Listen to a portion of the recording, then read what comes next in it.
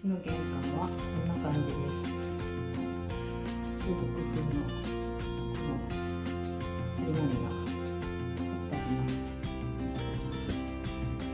団地の中には結構グリーンが植えられててあのちょっとした遊び場とか公園がいくつかあります。